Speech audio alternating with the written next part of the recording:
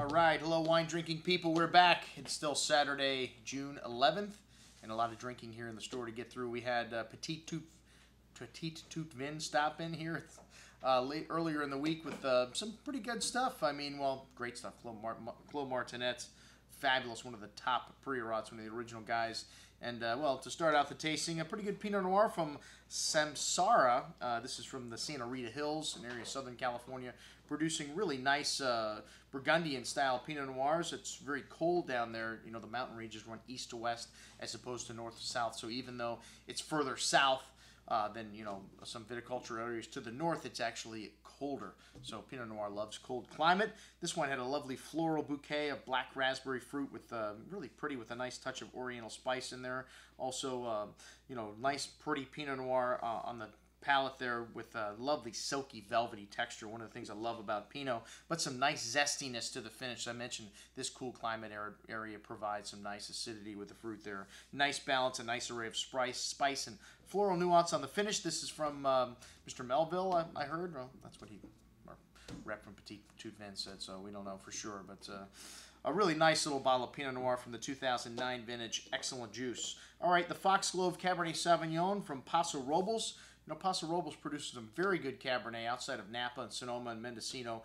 Probably the next greatest area for Cabernet Sauvignon in California. Uh, this wine had some lovely red cherry and plum-like fruit, notes of fresh herbs and fresh earth as well. Smooth and fruit-forward style of Cabernet. Very drinkable with a nice hint of herbal nuance through the finish and a nice savory quality too. You know, we don't like these tutti fruity California wines. We like to have a little savoriness on the end, and uh, this wine really nicely balanced for fifteen dollars. Really good little Cabernet. All right, and then Buoncristiani OPC. We don't know what that stands for, but uh, this is a blend of Cabernet Sauvignon, Syrah, Merlot, and Malbec, and some nice toasty oak spice on the nose here, some fresh plowed earth, some cocoa notes to the black cherry and currant berry fruit, and a really smooth and plush on the palate. Really nice forward style of Cabernet Sauvignon with notes of milk chocolate, smooth tannins, and uh, some nice acidity there coming at the end. Very good, but 48 bucks. Ooh almost like the $15 Cabernet, just as much. Okay, the Clos Martinet from the Priorat.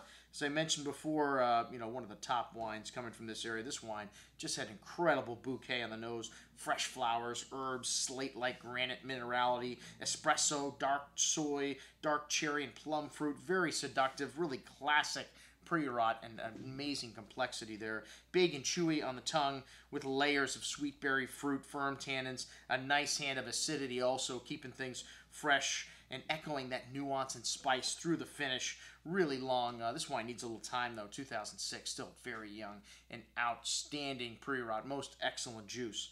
All right, well next up we have some wines from Campania with uh, Patrick from Dine Magazine.